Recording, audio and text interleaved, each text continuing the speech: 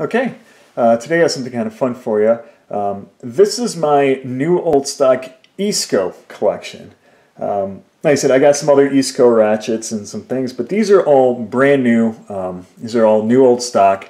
Um, these are all in their packaging. This one is just loose, but I don't know if it ever had packaging to begin with, so I'm kind of counting it in there the same. So uh, these all came from, uh, we think was an old uh, military base in Detroit.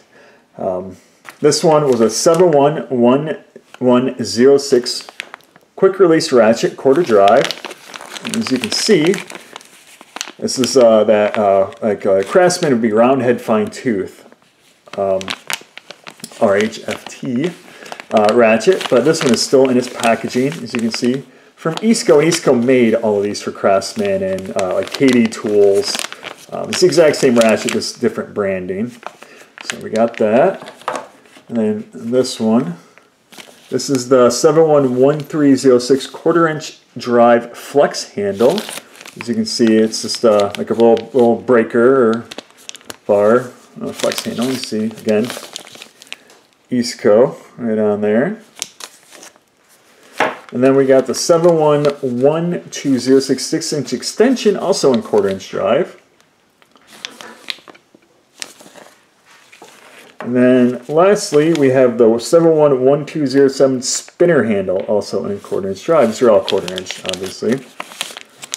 So, let's see, this is pretty cool. I, I have a thing for screwdrivers too, so it's uh, these, uh, this one gets my uh, extra special love. Yeah, so we got the nice little, like all, it's a new in the packaging, um, Easco um, quarter inch set, and like I said, we think it came from the guy bought it from. Uh, thought it came from that. He wasn't sure, but it kind of makes sense.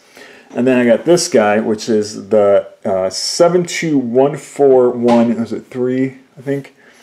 Easco Flex Head 3 8 inch ratchet. Again, quick release.